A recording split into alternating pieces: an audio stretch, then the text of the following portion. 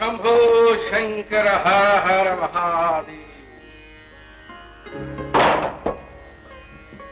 ವಿಠಲ ವಿಠಲ ಶಾಂತಂ ಪಾಪಂ ಶಾಂತಂ ಪಾಪಂ ಚಿ ಚಿ ಚಿ ಚಿ ಚಿ ಏನಿದು ಉದ್ಧಾರ ಮಾಡೋ ಗುರುನ ಹುಡುಕೊಂಡು ಅಲಿತಿರುವಾಗ ಇಂತಹ ಕೆಟ್ಟ ದೃಶ್ಯ ನೋಡೋ ಪಾಪ ಬಂತೆ ಸ್ವಾಮಿ ಸ್ವಾಮಿ ಸ್ವಾಮಿ ಯಾರು ನಾನು ಆ ವಿಠಲನ ಪರಮ ಭಕ್ತ ನಾಮದೇವ ಏನಿ ಅನಾಚಾರ ಏನಿ ಘೋರ? ವಯೋವೃದ್ಧರಾದ ನಿಮಗೆ ಜ್ಞಾನ ಇಲ್ವೇ? ಈ ಶಿವಲಿಂಗದ ಮೇಲೆ ಕಾಲಿಟ್ಟು ಮಲಗಿದ್ದೀರಲ್ಲ?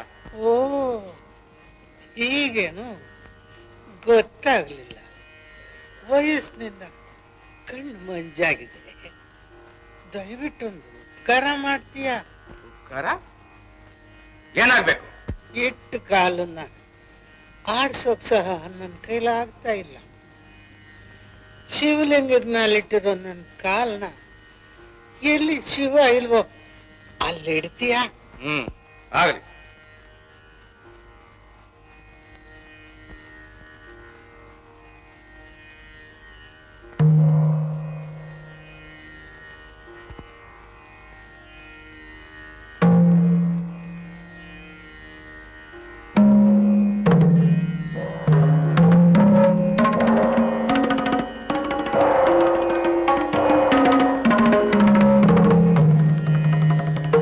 ಏನಿದು ಅಜ್ಞಾನ?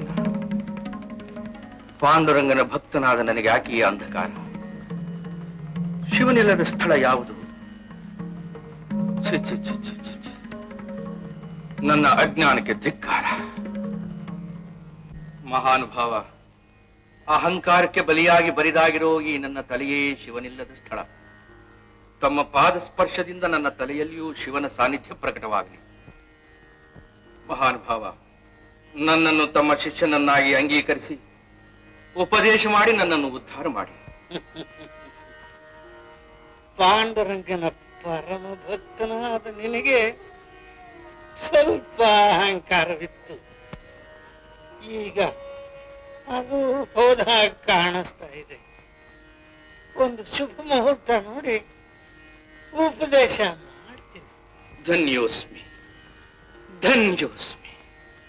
गुरु ब्रह्मा गुरुर्विष्णु